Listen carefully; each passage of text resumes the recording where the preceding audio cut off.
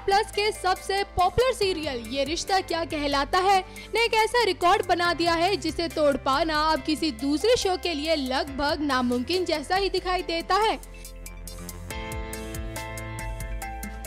जी हाँ आप एकदम सही सुन रहे हैं। ये रिश्ता की शुरुआत 12 जनवरी 2009 को हुई थी और अब ये सबसे ज़्यादा दिन चलने वाला भारतीय शो बन गया है।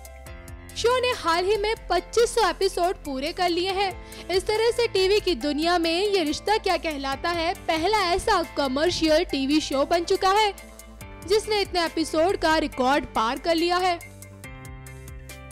अब भी ये शो टॉप टेन में लगातार बना हुआ है।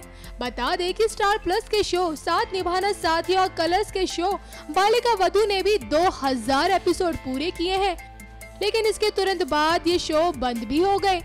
वैसे ये रिश्ता क्या कहलाता है? को सब टीवी के मशहूर धारावाहिक तारक मेहता का उल्टा चश्मा से टफ कंपटीशन मिलने की उम्मीद है।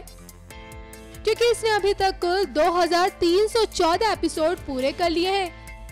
देखना दिलचस्प रहेगा कि आखिर वो कौन सा शो होगा जो ये रिश्ता क्या कहलाता है का रिकॉर्ड तोड़ता है। आपको हमारी ये स्टोरी कैसे लगी हमें कमेंट करके बताना मत भूलिएगा। और बॉलीवुड से जुड़ी खबरों के लिए देखते रहिए एनएमएफ न्यूज़